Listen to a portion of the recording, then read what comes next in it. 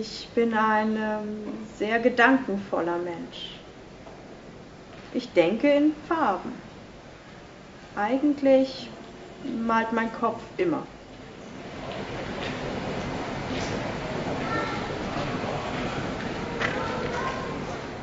Ich liebe Worte und Klänge und habe in dieser Richtung zahlreiche Ausdrucksversuche unternommen, aber meine Gedanken finden den reinsten, den stärksten Weg durch Hand und Augen, ungefiltert.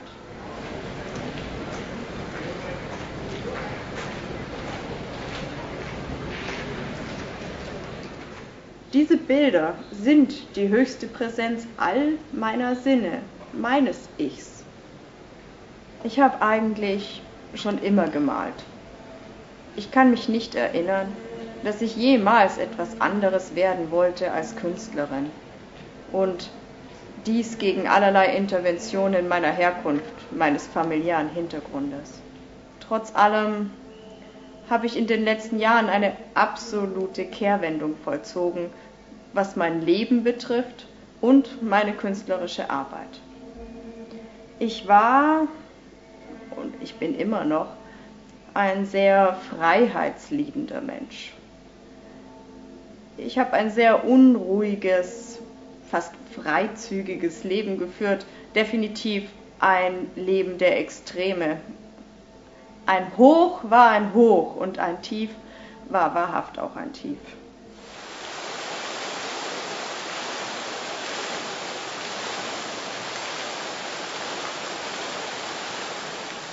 Halt, vielleicht Erklärung, Ordnung habe ich gesucht, indem ich versucht habe, meine Kunst im Voraus zu planen.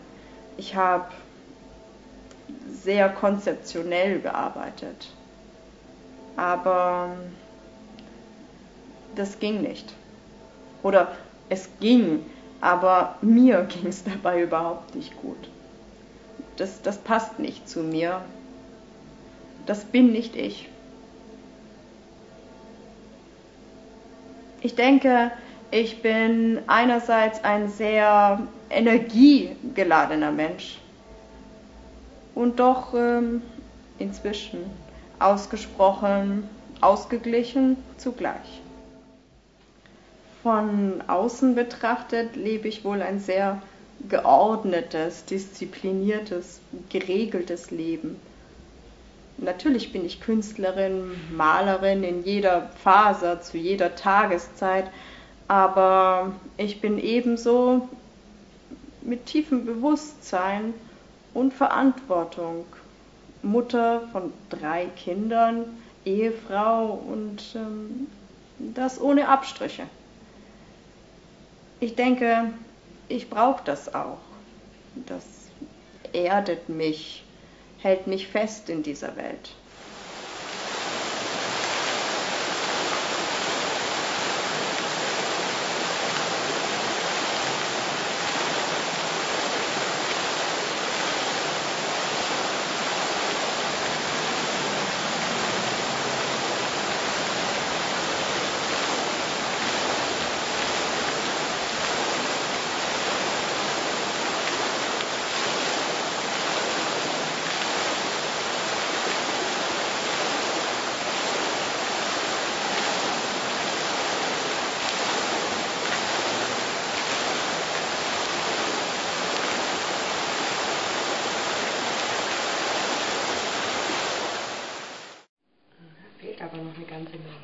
Mama, mhm. weißt du was, ich liebe dich. Weißt du, wie schön du malst? Ich finde, du malst wirklich schön. Ich finde schon. Auch die Fliesen da unten und oben der Himmel. Der Akt des Malens ist jetzt der Akt, in dem ich äh, fliegen darf. Zu malen bedeutet für mich die absolute Hingabe an das, was Leben bedeutet. Das menschliche Dasein in all seinen Facetten. Meine Bilder sind expressiv, exzentrisch, beiweilen fast obsessiv.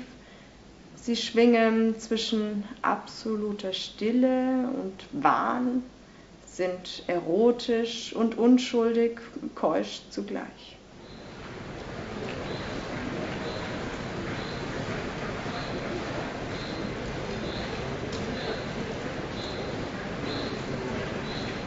Ich mag Gratwanderungen. Ich gehe beim Malen nie von einer narrativen Situation aus. Ich bediene mich auch frei jedweder Quelle oder technischer Möglichkeit, um ein Bild zu seiner höchsten Schwingung zu bringen. Meine Bilder sind äh, definitiv keine Narration der Selbstdarstellung. Im Gegenteil, die Bilder sollen den Betrachter zum Vibrieren bringen. Der Betrachter darf und soll am Bildprozess teilhaben. Eine Sinneswahrnehmung darf zur nächsten führen. Der Betrachter soll das Gefühl haben, in das Bild eintreten zu können, mit seiner Biografie, seinen Sehnsüchten, seinen Ängsten, Zweifeln, seinem derzeitigen Gemütszustand Teil der Bildwelt zu werden meine Bilder sind höchst emotional. Ich, ich, bin nicht wirklich da, wenn ich male. Irgendwie stehe ich dann zwischen den Welten. Das ist ein sehr erschöpfender Akt. Wie im wirklichen Leben findet ein wahrhaft aufbrausender Kampf im Innern und auf der Leinwand statt. Die negativen, zerstörerischen Emotionen übernehmen leicht die Überhand über die positiven, liebevollen. Ich bin überzeugt, dass ein funktionierendes Bild beide Anteile benötigt. Ich habe über die Zeit begonnen, bewusst auszutreten, um jene negativen Stellen nochmals zu überarbeiten. Meine Bilder dürfen Schönheit in sich tragen.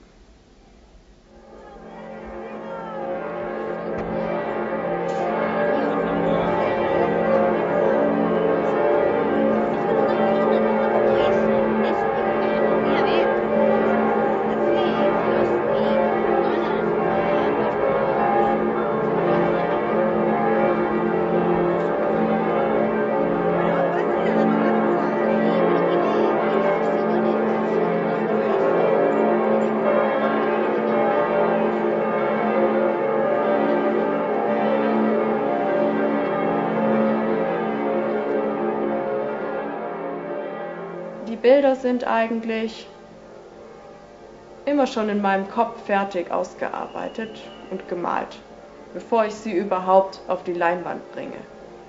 Sie kommen sogar im festgelegten Format. In meinem Kopf trage ich immer einen ganzen Bildkatalog. Mein Kopf malt einfach immer.